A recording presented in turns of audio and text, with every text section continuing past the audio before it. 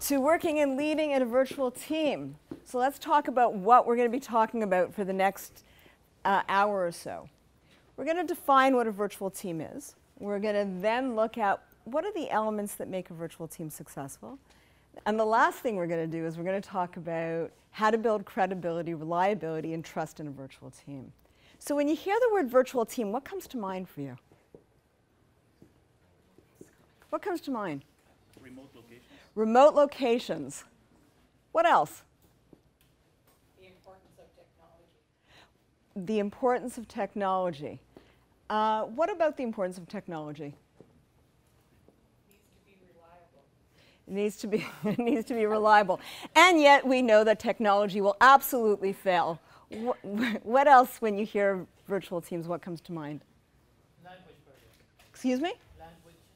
Language barriers, absolutely. Cultural differences. Cultural differences. Cultural differences, absolutely.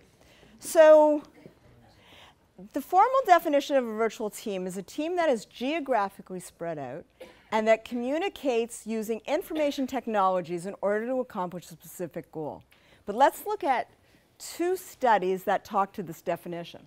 The first study was done by a guy named Tom Allen, and it was an MIT study, and he studied engineers. What he wanted to find out is how does distance impact communications? And get this if you are next door, you have a 25% chance of communicating at least once a week.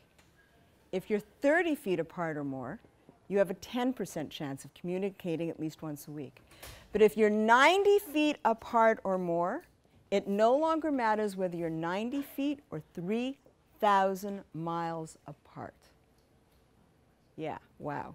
Let's look at a second study, and we're going to talk about how these definitions relate back to the definition that we just looked at.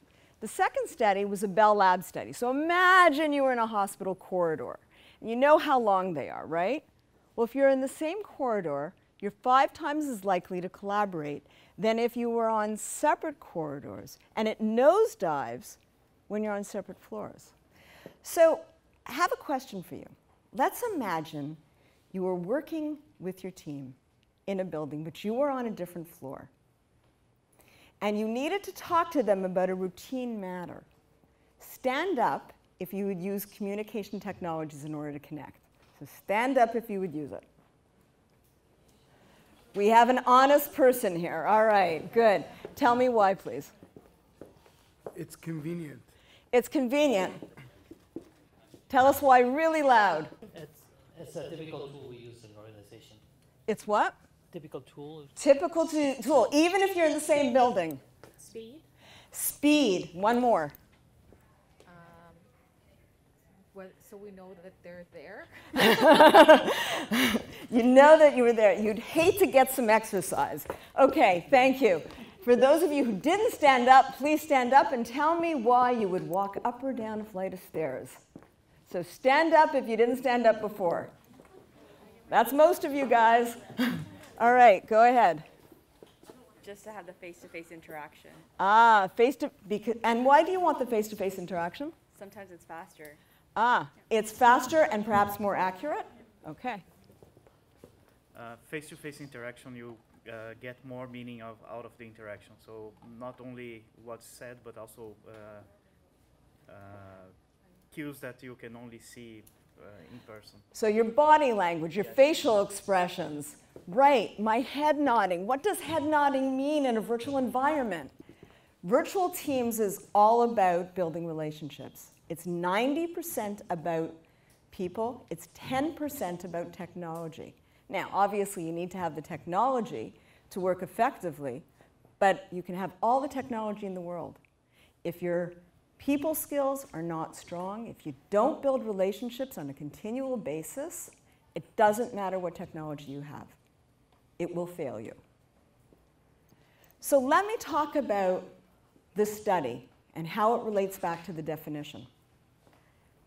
The teams that were truly geographically spread out performed better than the teams that were in the same building. And the reason is because these guys knew that they had to put processes and practices into place. The folks who were in the same building said, hey, we're not virtual. Why do we need to do anything? We're not virtual. And those actually failed more so than the teams that were geographically spread out. So remember, the definition was the teams that were geographically spread out who used communication technologies in order to connect to accomplish a specific goal.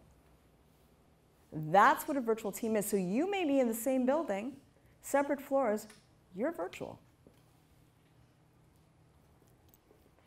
So I want to ask you guys when you hear virtual teams, what are the specific challenges that virtual teams face? Specific to virtual teams? Raise your hand.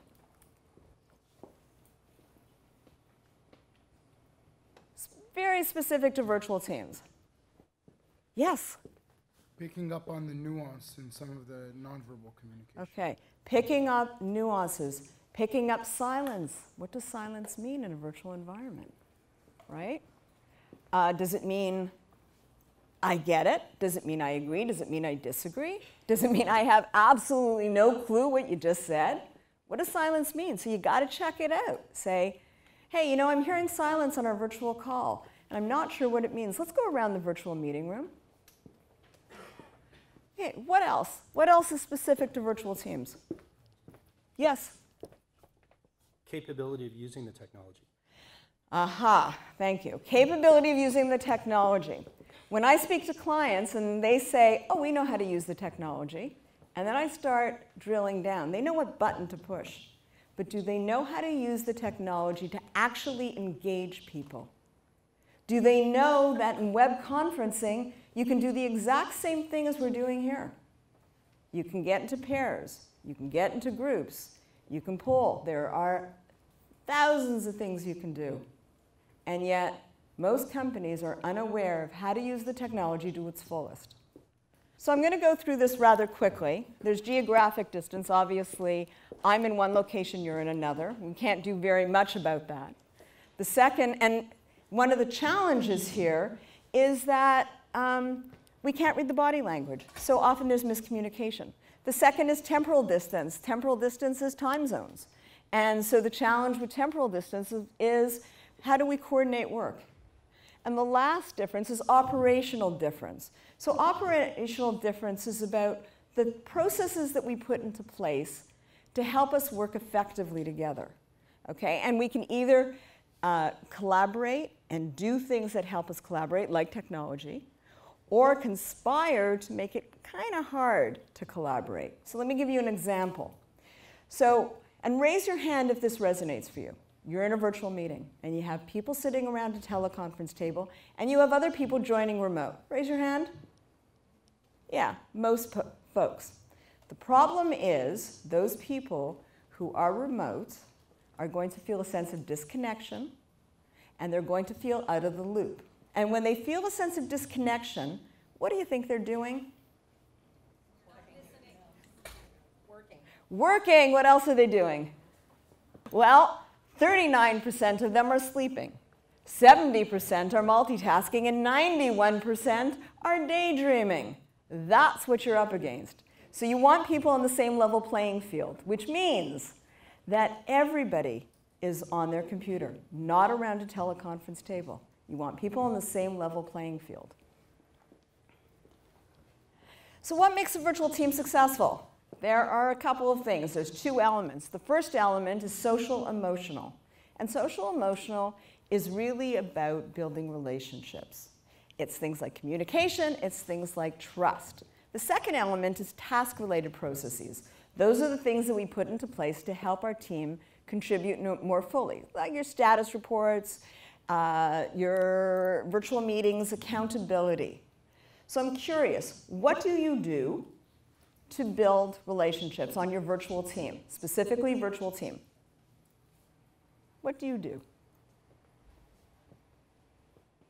Talk one-on-one with them before engaging Talk one-on-one. Know them one-on-one. Exactly. Get to know them one on one. And I'll take that one step further. Make sure that everybody on the team knows them. So, once a month, have one person on the team give their backstory. Who are you? Where are you coming from? What's your background? What's your experience? It creates credibility and it allows us to get to know the people. Okay, task-related processes. What do you do to make it work? There are things to do before a virtual meeting, during a virtual meeting, and after a virtual meeting. It is a process. It's not just about having the agenda. It's not just about making sure the technology works, obviously important. There are other elements that you have to put into place before, during, and after a meeting. Okay, thank you. So we know what makes a virtual team successful. We also know there are challenges with virtual teams. And one of them is building trust. And we know that building trust takes longer in a virtual environment than it does in a face-to-face environment. Why do you think that might be? Well, we mentioned that in virtual teams, we can't read body language, and the ability to read body language and those signals builds trust. Absolutely. If we're in a if we're in a face-to-face meeting and I'm leaning forward and I'm nodding my head, I'm giving you affirmation that what you're saying is like awesome, right? In a virtual environment, I could be nodding my head and you have no clue what I'm doing. Right. So that's one of the reasons. How about one other? Yes, back there. Uh, in a virtual team, you get less of that uh, spontaneous interaction at the coffee station, going to the washroom, wherever, where you kind of chit chat. Exactly. You don't have that chit chat, but you can create that chit chat. So, how do you do that? At the beginning of a meeting, have while you are waiting exercise. So, what does that look like? A while you are waiting exercise could be something like um, tell us uh, a success you've had this week that you're proud of. Share a website with everybody on the team that would benefit them. Okay.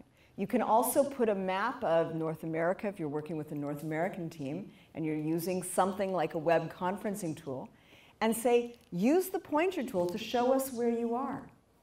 Or use the pointer tool and show us where you want to be. I'm usually in Hawaii with a drink in my hand. I like it.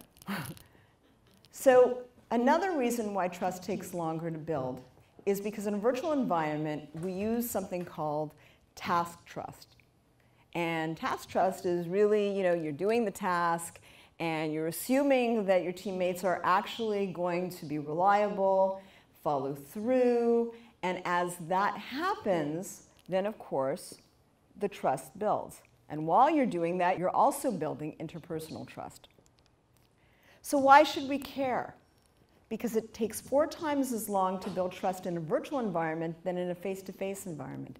And when you add cultural diversity into the mix, it adds 17 weeks for the team to perform as well.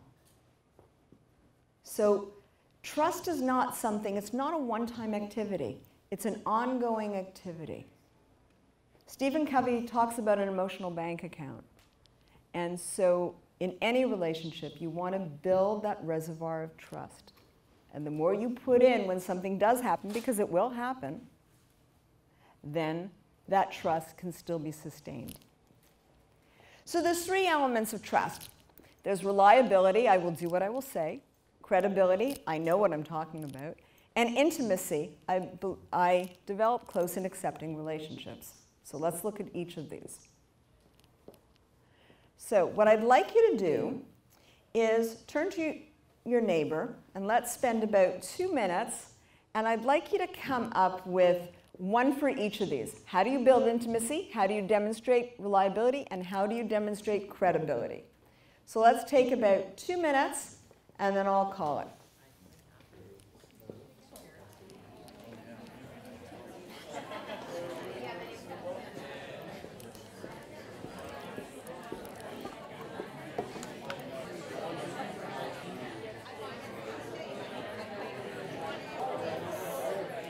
And let's come back together. So I'm curious, how do you build intimacy in a virtual environment? And we don't dim the lights. So how do you build intimacy in a virtual environment? Yes.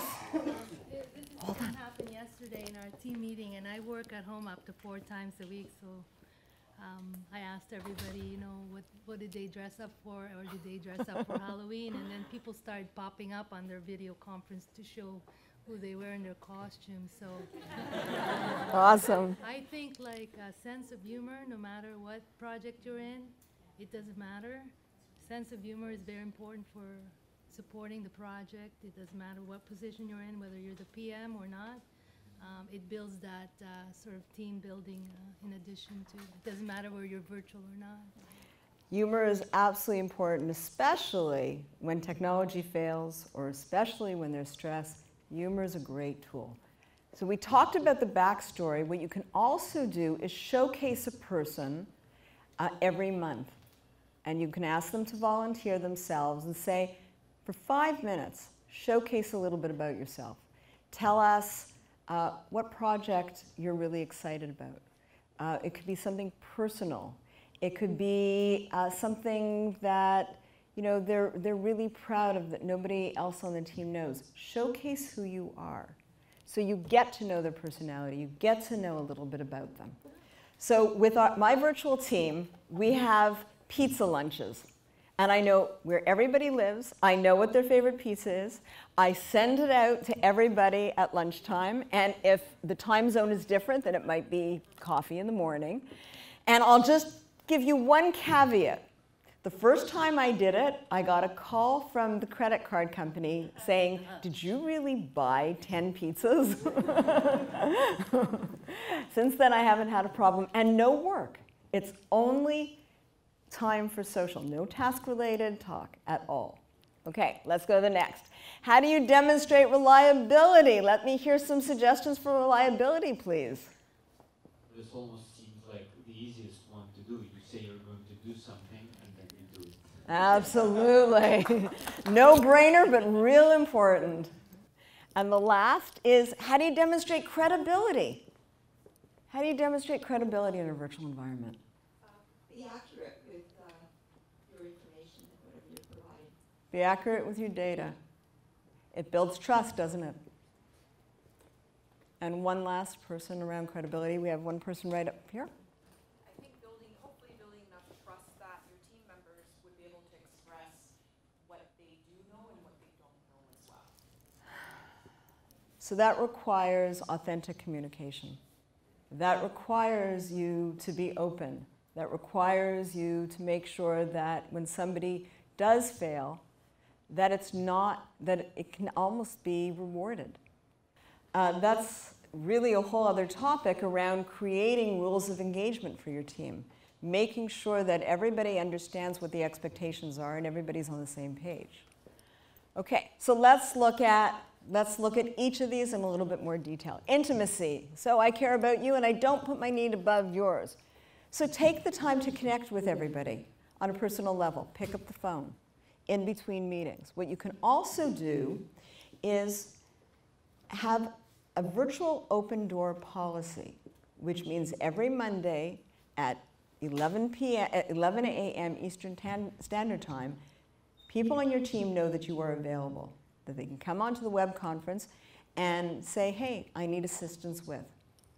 And it can be personal, it can be task. Have coffee hour, same kind of thing as the pizza party. Pay attention to a person's tone of voice.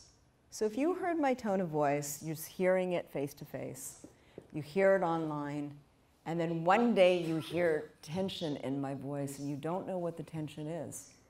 It's really important to pick up the phone after the meeting and say, you know, I heard something in your voice. I'm not sure what it was. You know, would you like to share? What's going on for you? So you need to listen beyond the words. And we're going to do an exercise around that in a few minutes. Give shout outs to people. So, what does that mean? Often it's the manager's responsibility to give feedback, but it doesn't have to be the manager's responsibility. So, if I gave feedback to Daniela, then Daniela, if I gave feedback to you in front of everybody at a team meeting, then it's Daniela's responsibility to connect with everybody on the team during the week because it'll be Daniela's responsibility to give some feedback about what somebody did really well at the next meeting. And then that person is responsible. So it really encourages people to connect with their virtual coworkers. I do what I say I will do, reliability. Well, it largely depends on reliability.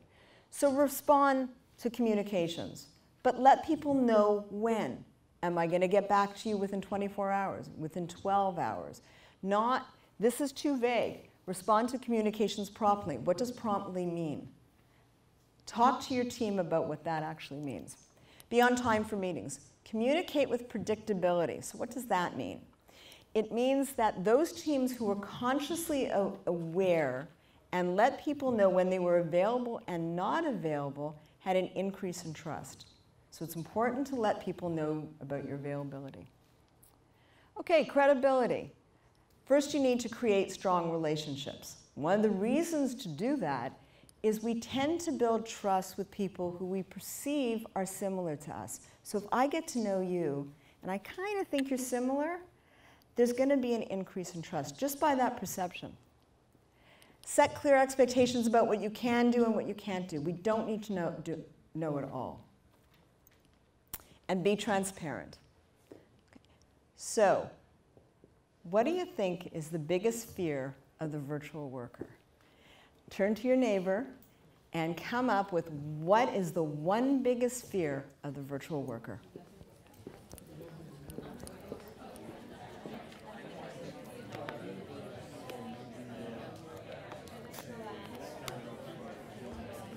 And let's come back together. What do you think is the biggest fear of the virtual worker? FOMO. Pardon me? FOMO. FOMO. Aha, fear of missing out. Yeah. How about uh, another person, another group? What do you think? Yeah, here we go. Um, I would say like not having enough time to come to a mutual understanding, or like the fear of extending the meeting. Okay, not having enough time for mutual understanding. So that really brings up our personality. And when we look at our personality, just imagine four people on our team. There's one person who says, one part of the team says, I can make the decision now, and we just got to get to it. It doesn't really matter whether it's right or it's wrong, we're going to do it. And somebody else saying is, we can't. We have to make sure that we research it. And we need to make sure that this is right. And then another person says, you know, I'm process oriented, and we need to see, we need to weigh the pros and cons, we need to make sure that we look at all the possible risks. And there's somebody else who says, I just want to socialize with you because it's so much fun. They're saying, you know what? It's all about people first. It's all about people. So you have four personalities on your team. And each of them may have a different view of what's the biggest fear of the virtual worker. And you just addressed one. Well, the actual one is keeping people in the loop.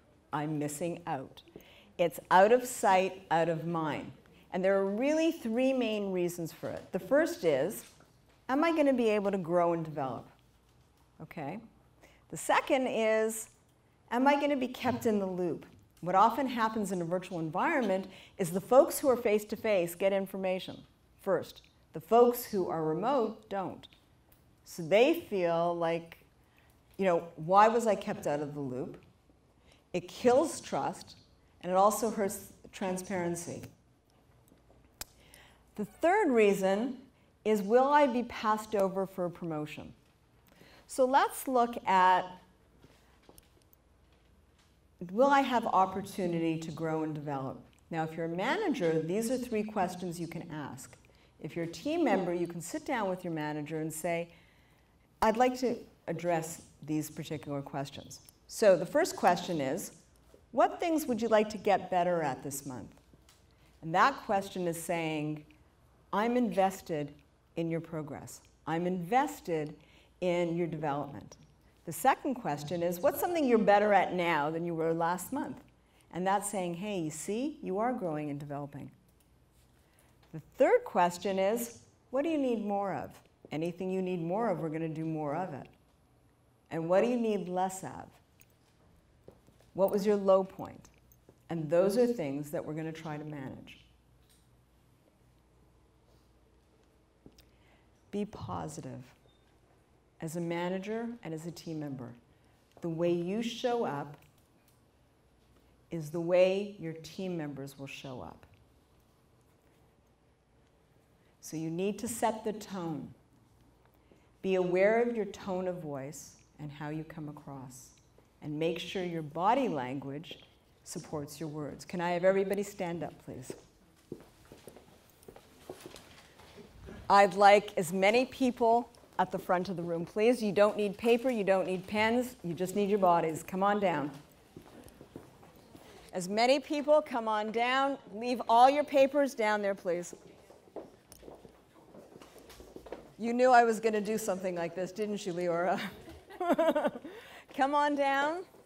Everybody on the floor. Whoops. I need this. Come on down. There's lots of space. Move up, guys. Lots of space.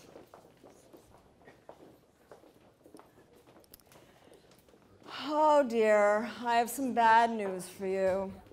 And I'm warning you now, the bad news gets even worse as we go along, but you'll put up with it because you're PMs, right, Catherine? Mm-hmm. Right. Come, guys, come on down. Come on completely down, please. And you guys, come on down.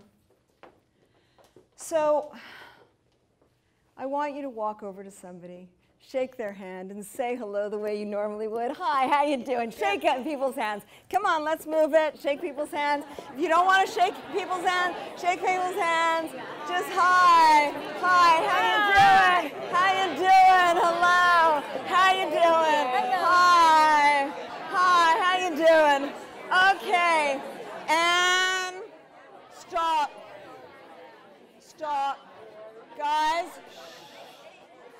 guys, I have really bad news for you.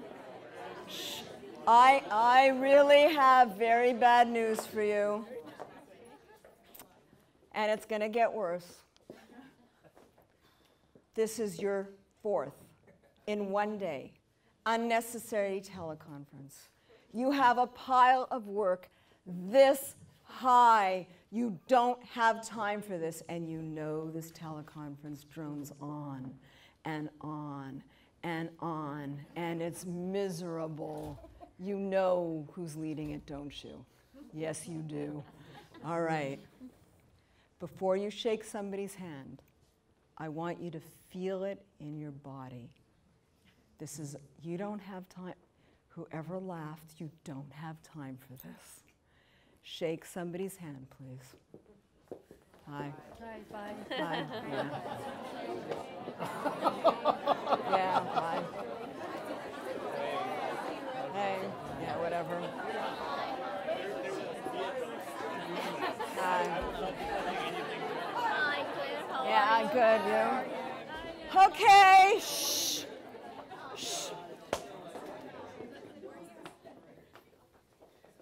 Life has just gotten worse. What can you do? You know this person. It's the status report from every time you get the status report from this person, it's wrong.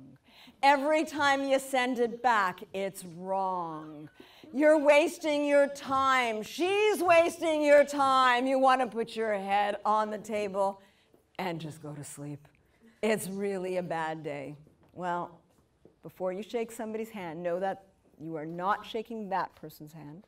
You're shaking somebody else's, but you know you're going to have to redo it. There's just no way. So, feel it in your body.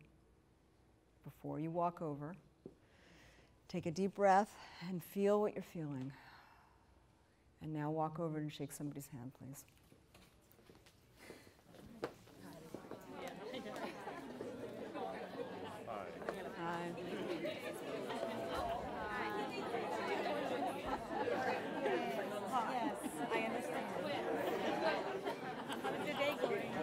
Hi.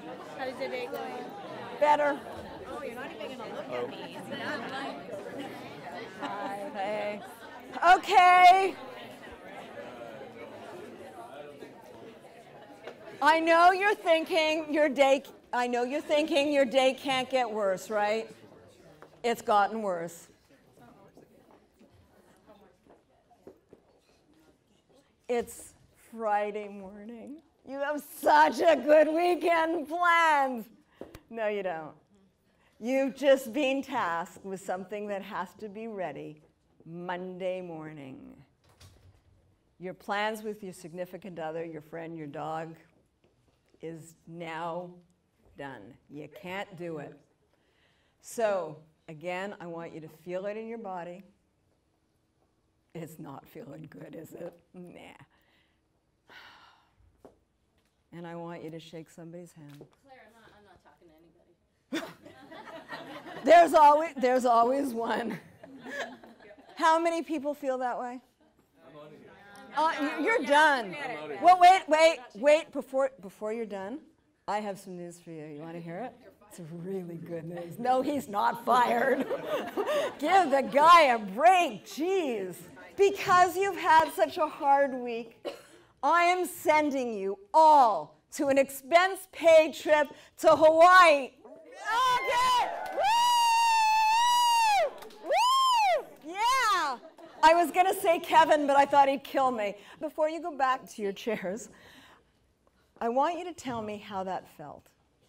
I want you to think about when I was going through this just rotten day, which happens sometimes. How does it how did it feel? Exhausted defeated. What other words can you describe? My jaw's tense. Pardon me? My jaw is tense. That's where my stress lives. Okay, so we start feeling stress in our body. Headache. What else? Preoccupied, uh, remote. Oh, just completely preoccupied. What did you notice about other people's body language? Distant. Distance. Distance, yeah. What else? Tension, Tension. Yes. So why am I bringing this up in the context of virtual teams? I'll, I'll tell you why. Because in a virtual environment, people pick up on the energy. If you're on the call, people will hear it in your voice. So if people are having a bad day, because we all do at times, share it. You might be hearing something in my voice. You're hearing tension. You're hearing stress. It's not about you because what people will feel is that it's about them. So when we do these last couple slides, just hang out here. We're not going to go back. Okay, so very quickly. In the next 30 seconds, name 10 body parts that have three letters. Shout it out. Arm, leg, what else? Toe, eye, what else? Ear. Okay, let's go through them. Ear, woohoo! Lip, arm, leg, toe, hip, rib, jaw, gum. Conclusion, and this is the piece I want you to remember. We all know what to do. Do we all do what we know? And this is not for just this session, this is for all the sessions. We know what to do, but we have to apply what we learn. Otherwise, you're not going to make the most out of this great conference. Thank you very much, everybody. Have a great rest of the conference.